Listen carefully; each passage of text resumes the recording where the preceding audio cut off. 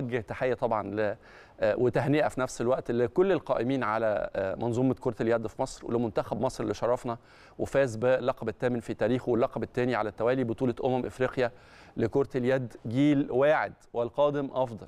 وإحساسنا حتى وأنا بتكلم مع زمايلي في السادسة قبل الهوا إنه إفريقيا بالنسبة لنا خلاص بقت اللعبة في إيدينا. إحنا مسيطرين وبإذن الله هنفضل مسيطرين على الكرة كرة اليد في قارة إفريقيا لسنوات وسنوات قادمة. النظرة دلوقتي والاهتمام لازم يروح للقب العالم وهو مش بعيد علينا. شبابنا حققوه ورجالتنا الكبار قادرين إن شاء الله إن هم يوصلوا لده. وتجربة تستحق الإشادة وتستحق كمان إن إحنا نقف عندها كتير لأنها بتثبت إنه العناصر المصرية والموهبة المصرية والكوادر المصرية قادرة بشكل كبير جدا توصل للمستويات العالمية وده اترجم بشكل كبير في كرة اليد وإن شاء الله البطولة اللي جاية خلاص تم الإعلان إنه مصر هتستضيفها في 2024 يناير تحديدا وإن شاء الله يكون اللقب التاسع ويبقى بيفصلنا اللقب عن منتخب التونس اللي محقق 10 بطولات على مدار تاريخه.